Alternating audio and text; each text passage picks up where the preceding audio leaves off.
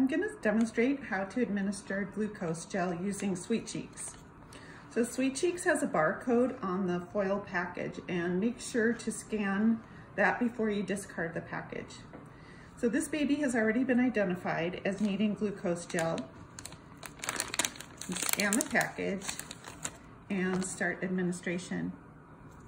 It's important to take a two by two and just dry out the buccal cavity on each side first. Then the next thing that you wanna do is um, waste down to the amount that has been ordered for this baby. Each of these syringes come with at least three mLs of glucose gel. So if you know that this, this is a four kilo baby, you're only going to need two. So I'm gonna waste down to to two. There we go. And this is now to be discarded. The next thing I'm gonna do is give this to the baby. This is not to be fed to the baby, it's to be massaged into the buccal cavities. So I take about a quarter of it, put it into the right side, and massage until it's absorbed. Then on the other side, put it in,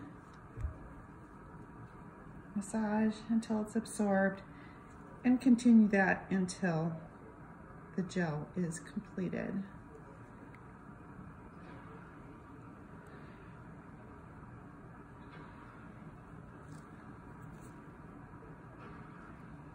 It is, even on a real live baby, a bit messy.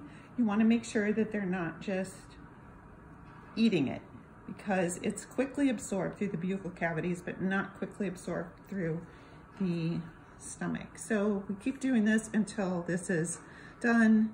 Um,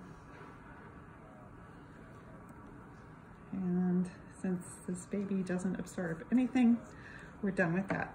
Okay, now it's really important that right after you complete the glucose gel that you um, have the baby um, go right to the mom for breastfeeding or bottle feeding, whichever they're doing. All right, that's it.